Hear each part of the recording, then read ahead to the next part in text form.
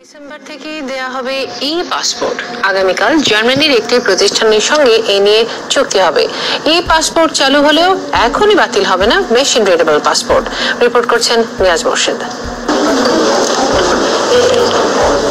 Machine readable passport চালুর মাত্র আট বছরের মধ্যে এই পদ্ধতি পরিবর্তন করে দেশে ই পাসপোর্ট চালু হতে যাচ্ছে।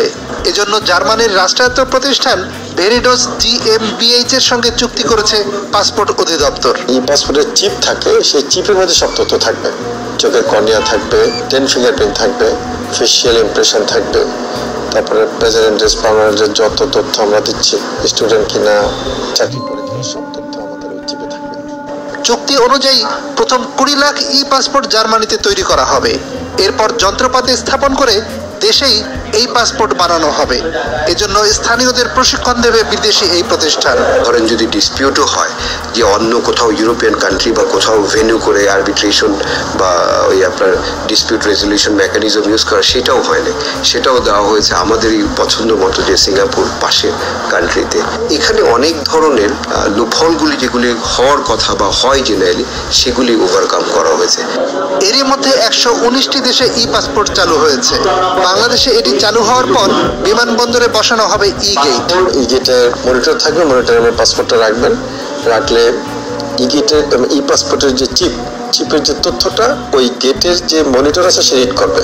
ওখানে ক্যামেরা থাকবে। সেই ক্যামেরা আপনার ফেসিয়াল ইমপ্রেশনটা আবার তখন নেবে।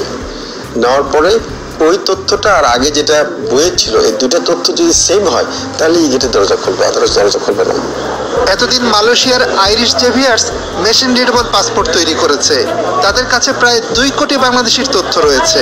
চুক্তির অস্পষ্টতার কারণে এসব তথ্য পাসপোর্ট অধিদপ্তরের কাছে ফেরত আনা নিয়ে দেখা দিয়েছে সংশয়। ওই এগ্রিমেন্টে এই ক্লসটা আছে কিনা এটা কনফার্ম হয় না যে whether the Iris company will provide the data all datas to Bangladesh government এইটা আইটি সেকশন এরা টোটালি বসেছিল এইটা আলোচনা প্রসেসে ছিল।